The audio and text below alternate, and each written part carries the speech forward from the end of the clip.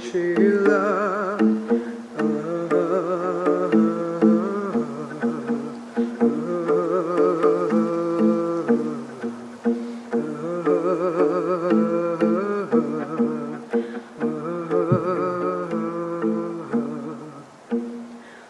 she loved.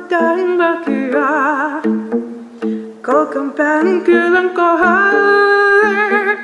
So she lurched to show mast Vi